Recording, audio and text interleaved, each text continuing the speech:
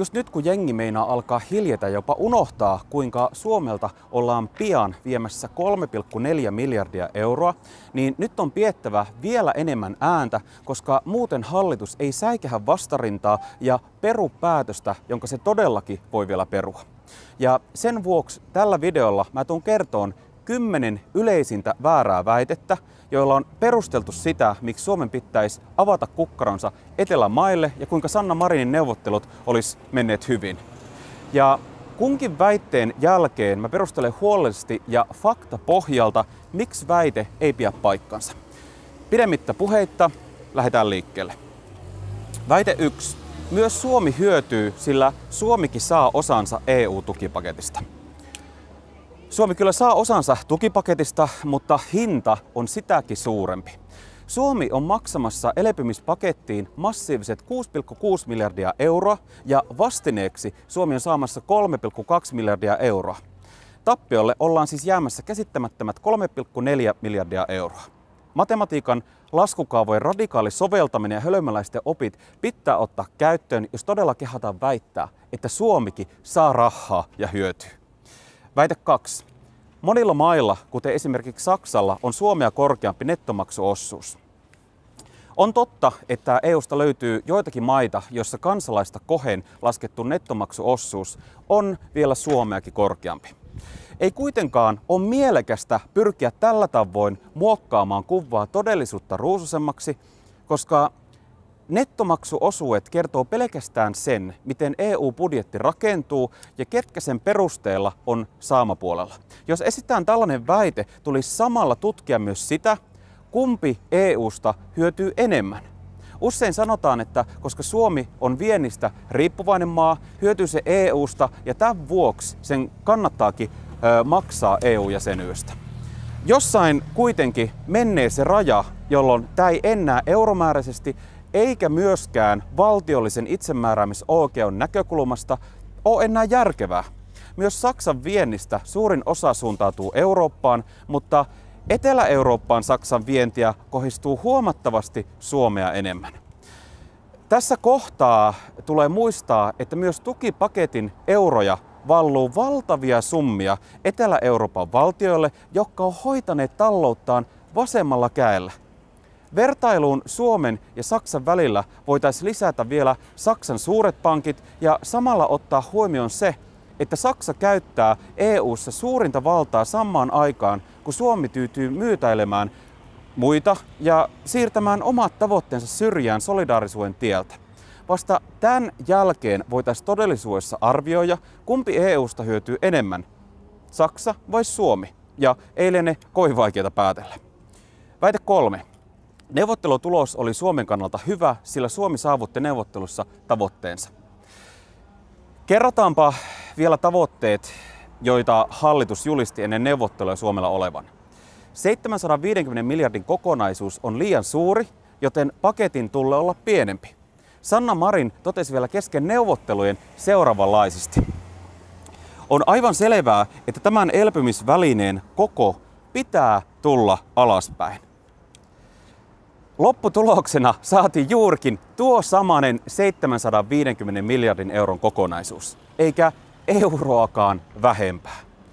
Toisena tavoitteena hallituksella oli Marinin joholla sai suorina avustuksina jaettavaa summaa pienemmäksi ja samalla kasvattaa lainapainotteisuutta. Marin totesi ennen neuvotteluja seuraavasti lainojen ja avustusten jakkautumisesta. Olisi hyvä tavoite, että pääsisimme tasapainoisempaan ratkaisuun, että noin puolet ja puolet, mieluummin vähemmän, olisi avustuksia.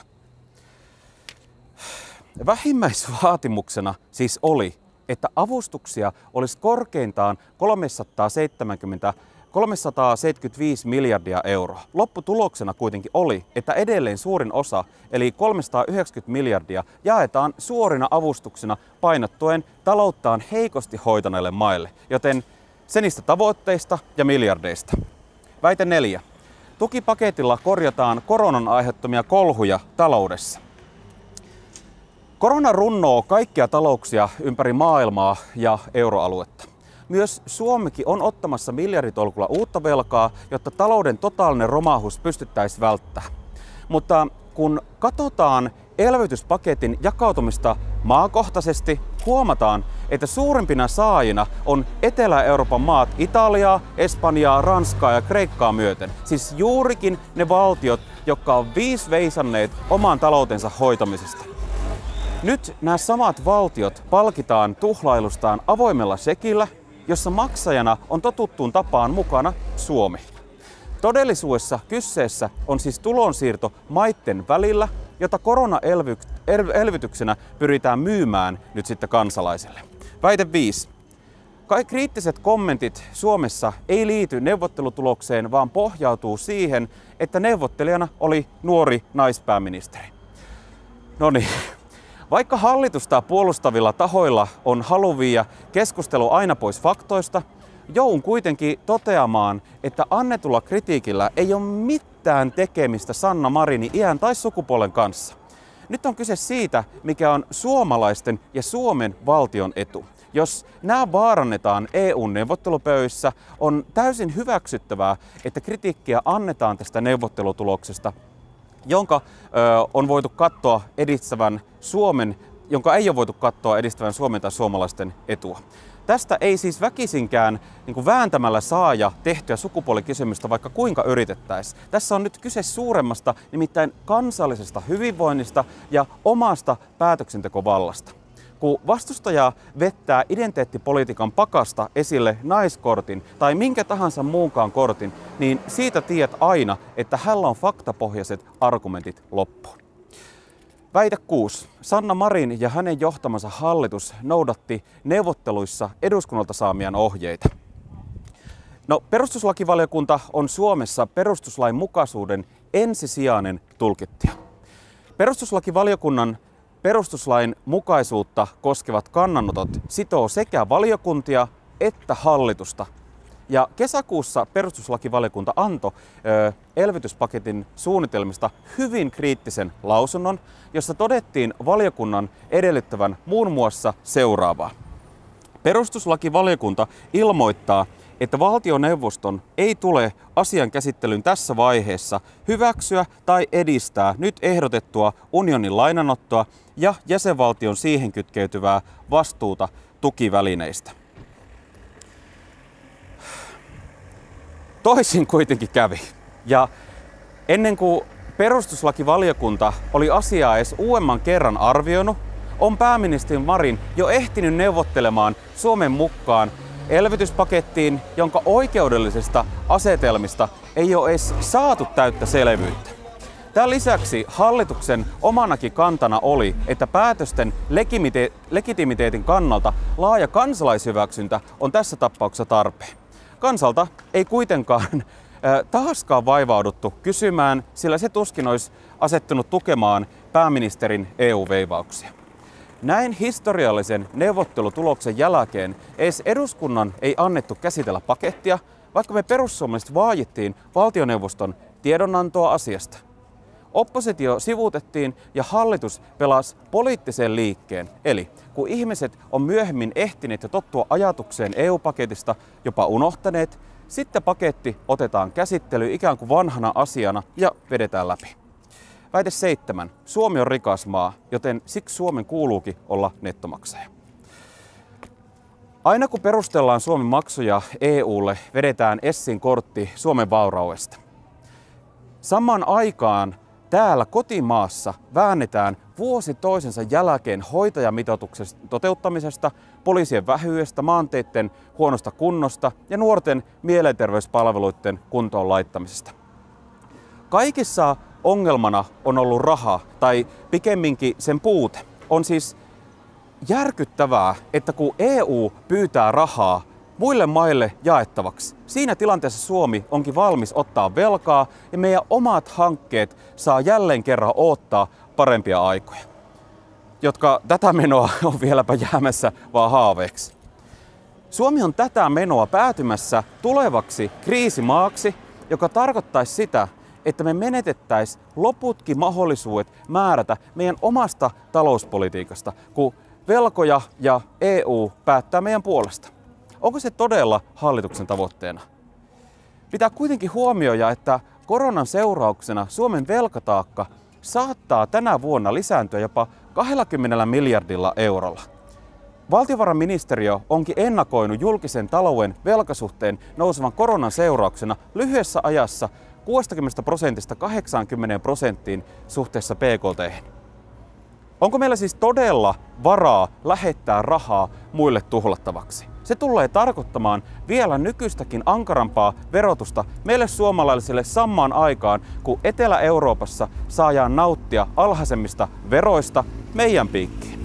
Me otetaan uutta velkaa, jotta voidaan lähettää rahaa Italiaan, joka on suurimman tukipotin, tukipotin saajana. Me lähettää rahaa maahan, joka leputtaa maailman kolmanneksi suurimpia kultavarantoja holveissa, siis ihan pahan päivän varalle. Eikä niihin koskemiselle näytä olevan tarvetta, kuten ei myöskään näytä olevan tarvetta veronkiertoon tai harmaaseen talouteen puuttumiselle, sillä Suomi on yhtenä halukkaana EU-mallioppilaana kustantamassa koko lystiä. Italiasta kantautuva uutisoinnin perusteella paikallinen mafia jo odottaa sormet syyhyten tukimiljardien saapumista ja keksii keinoja saada oman osuutensa niistä. Sen sijaan, että me panostettaisiin oman isämaamme hyvinvointiin, me ollaan nyt tukemassa jopa ulkomaisia rikollisverkostoja. Siis aivan käsittämätöntä. Väite kahdeksan. Elvytyspaketti noudattaa EUn perussopimusta. Vaikka EU-virkamiehet runno paketin väkisin sopimaan EUn perussopimukseen, ei sen kuitenkaan voida todeta olevan sitä, mitä alun perin EUn toimivaltaan on ajateltu. Aiempi tulkinta perussopimuksista on selkeästi ollut, että ne yksiselitteisesti kieltää EUn yhteisvastuullisen lainanoton. Nyt kuitenkin vedottiin ratkaisun väliaikaisuuteen ja kertaluontoisuuteen ja näin samalla romutettiin pitkään vakiintuneena ollut periaate. Eurooppa-oikeuden professori Päivi Leino Sandberg on aiemmin kesällä todennut elvytyspaketista, että se jatkaa samaa kehityskulkua kuin mitä olemme viime vuoden nähneet. EUn perussopimuksia venytetään ja esitetään tulkintoja, jotka ovat perussopimusten sanamuotoja vastaan. Ja tälle pohjalle lähdetään esittämään hankkeita, jotka ovat poliittisesti riidanalaisia.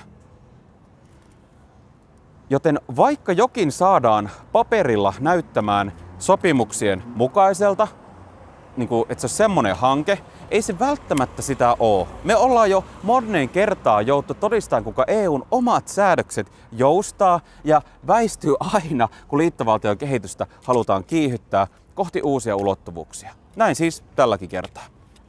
Väite 9. Suomen maatalous on tukipaketin ansiosta voittaja. Hallitus on halunnut kovaan ääneen julistaa, kuinka Suomen maatalous on elpymispaketin ansiosta erinomaisessa asemassa. Neuvotteluissa kyllä saatiin lisärahoitusta suomalaisen maatalouden hyväksi. Tässä yhteydessä hallitus ei kuitenkaan halua mainita, että todellisuudessa niillä vaan paikataan maataloustukien leikkauksia tulevalla, tulevalle budjettikaudelle. Maa- ja metsätalousministeriö onkin laskenut alustavasti, että suoria EU-tukia tullaan jakkaan suomalaiseen maatalouteen lähes saman verran kuin nykyiselläkin budjettikaudella. Joten vihervasemmista hallituksen joholla on turha ottaa todellista panostusta suomalaiseen maatalouteen. Tämän lisäksi me menetettiin miljardeja ja jokainen ymmärtää, että maatalouden tukeminen suoraan olisi ollut paljon tehokkaampaa ja sen avulla olisi oikeasti pystytty parantamaan suomalaisten ruoantuottajan asemaa. Nyt suurin osa näistä elvytysvaroista valluu jonnekin aivan muualle kuin suomalaiseen maatalouteen ja samaan aikaan suomalaiset tilalliset kamppailee selviytykseen. No sitten vielä viimeinen väite 10. Puheet liittovaltion kehityksestä ovat liioiteltuja ja äänten kalastelu on vailla totuuspohjaa. Koronakriisi on täysin poikkeuksellinen kriisi, joka on vaatinut myös poikkeuksellisia toimia. Tämä on totta, mutta samoilla selityksillä koitetaan nyt perustella sitä, miksi tämäkin elvytyspaketti on välttämätön ja ainutlaatuinen poikkeus. Todellisuudessa ei kuitenkaan ole syytä uskoa, että tämän kaltainen rahajako jäisi ainoastaan tähän yhteen kertaan. Tähän ei täysin usko myöskään pitkän linjan ekonomisti ja Helsingin yliopiston professori Vesa Vihriälä, joka on varoittanut elvytyspaketin myötä seuraavan yhteisen velan tuomista vaaroista ja todennut, että Kun velkaantumismahdollisuus finanssipoliittisten toimien rahoittamiseen on avattu kerran vastoin perussopimuksen henkeä, siihen turvautuminen uudelleen on jatkossa paljon helpompaa.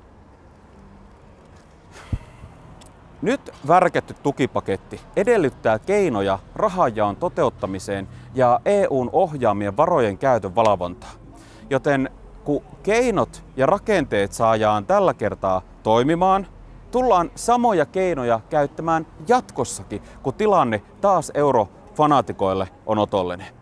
Myös Etlan toimitusjohtaja Aki Kangasharju on kritisoinut elvytyspaketin luonnetta ja todennut paketin vievän EUn askeleen lähemmäs kohti tulonsiirtounionia ja rahaa jaetaan nyt ikään kuin koronan varjona varjolla avustuksina. Joten vaikka pääministeri ja EU-myönteiset poliitikot pyrkii nyt kertoon kansalle muuta, totuus on, että taas kansalaisilta kysymättä ollaan ottamassa jättiaskelta kohti liittovaltiota ja yhteisvastuuta. Tuu jatkossakin pitämään ääntä, joten jos et ole vielä tilannut tätä kanavaa, muista tehdä se, niin pystyt jatkossakin ö, kartalla, missä politiikassa mennään. Mä todella toivon, että voisit jakaa tämän tietopaketin omissa somekanavissa, jotta me saadaan faktat esille ja sitä kautta vasemmiston luomat narratiivit paljastettua, jota mediakin on ollut komppaamassa. Jakamalla tätä videota nämä voit olla itse mukana taistelemassa niiden miljardien puolesta, jotka kuuluis suomalaisille vanhuksille, opiskelijoille, vähävaraisille ja sairaille. Kiitos, jos teet tämän pienen teon, sillä kun kaikki tekee saman, sillä on todella suuri vaikutus.